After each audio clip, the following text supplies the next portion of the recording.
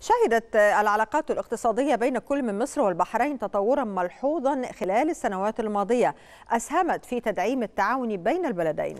فالمنامة تحتل المرتبة السادسة عشر في قائمة الدول المستثمرة بالسوق المصرية بإجمالي استثمارات يتخطى ثلاثة مليارات دولار.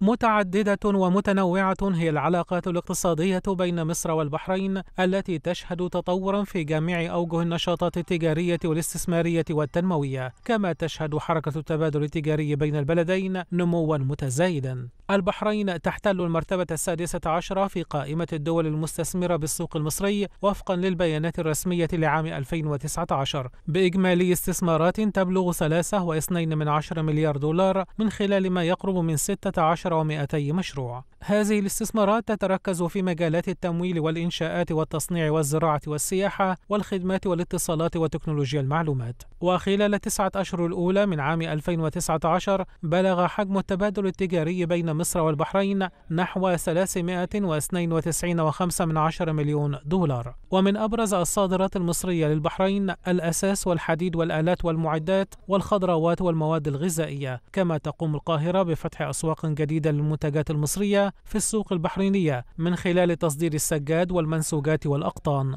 وفي المقابل تتركز الواردات المصرية من البحرين في المشتقات النفطية والزيوت والمنتجات البلاستيكية. إذا هي علاقات مزدهرة ما بين مصر والبحرين تقوم على التعاون المشترك في شتى المجالات خاصة الاقتصادية منها.